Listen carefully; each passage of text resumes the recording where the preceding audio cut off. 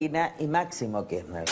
¿Querés saber dónde está la plata de Cristina Fernández? Y la plata de Lázaro Báez es la plata de Néstor y Cristina Fernández de Kirchner. ¿Lázaro era socio de Néstor? Sí. ¿En qué porcentaje? En todo. bolsos, valijas, millones e impunidad. Fue el primer gran caso de lavado de dinero, de corrupción kirchnerista. que hay una relación muy estrecha entre Lázaro Báez y el gobierno de ese entonces. ¿Era socio de, de Néstor? En este edificio empezaron los Cristina Leaks. ¿Querés saber dónde está la plata de Cristina? En la ruta del dinero K. ¿Pero Cristina puede llegar a quedar condenada? Son los Christy Leaks. Cristina y de Lázaro, La ruta del dinero K. Tiraba a López los bolsos. ¿Quién es Lázaro Báez?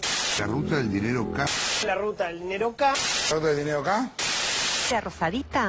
La ruta del dinero K. ratifican la falta de mérito para Cristina Kirchner. En la causa denominada la ruta del dinero K. Recordemos que en todo este tiempo la ruta del dinero acá fue cambiando de ruta. La Nata empezó con esto en Seychelles. Después lo mandó a Marijuán con la excavadora. Al sur. Sí. Así es. Bueno, la ruta del dinero K eh, es la causa por la que está detenido Lázaro Báez hace tres años. Lo que se está investigando es el delito atribuido a los presos, el de haber integrado una banda dedicada a lavar dinero entre 2010 y 2013. La cosa la tenía Sebastián Casanelo. El juez no citaba a indagatoria a Cristina Fernández de Kirchner porque consideraba que no había elementos para hacerlo.